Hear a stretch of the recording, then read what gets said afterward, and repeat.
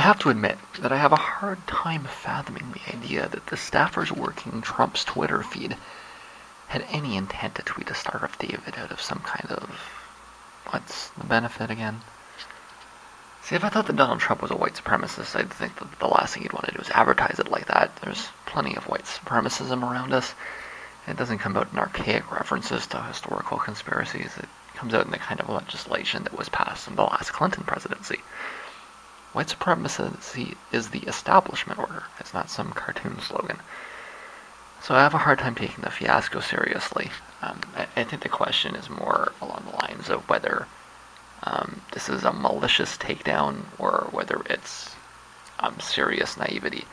And I have as hard a time fathoming the idea of serious naivety as I do that it was actually intentional. So um, this is um, a malicious attempt by the Clinton campaign to smear Trump.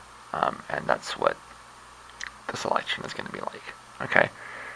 Um, I, I, think that the traction the story is getting says something about the media, and then something about the way that we consume the media.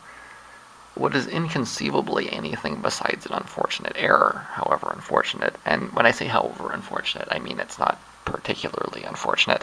It's being interpreted as some kind of solidarity with something that doesn't exist.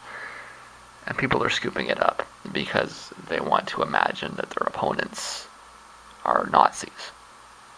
If nothing else, Bernie Sanders injected a sense of reality into the election. He wanted to talk about real issues.